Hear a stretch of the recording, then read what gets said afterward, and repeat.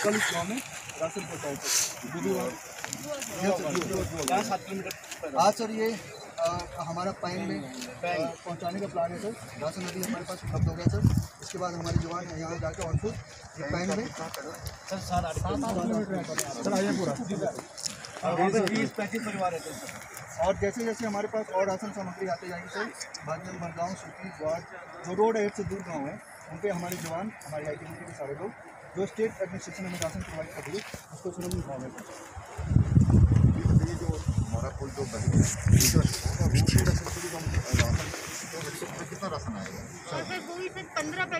वो सर आराम से लग जाएगा सर वही हम चाह रहे हैं सस्पेंशन जो लगता नहीं जो ट्रॉली टाइप का वो करके आज लगा देंगे सर इंजीनियर आए मैं